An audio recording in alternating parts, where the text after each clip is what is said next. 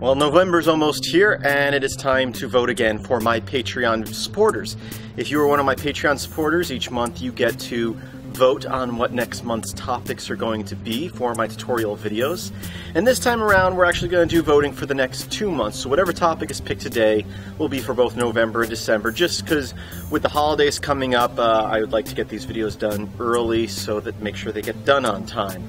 So, uh, if you're watching this video uh, and you're a Patreon viewer of mine, a Patreon supporter of mine, uh, you should have gotten a link for voting.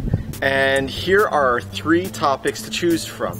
Topic one would be networks and servers. We'd look at different ways of setting up different types of servers, web servers, and other networking techniques.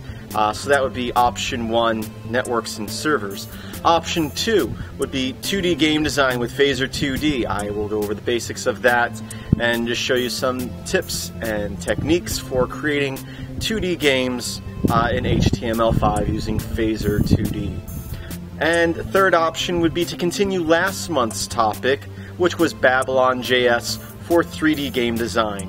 Uh, and we'll just continue where we left off there if you choose that. So those are the three options. Uh, if you are a Patreon supporter, go ahead and vote now.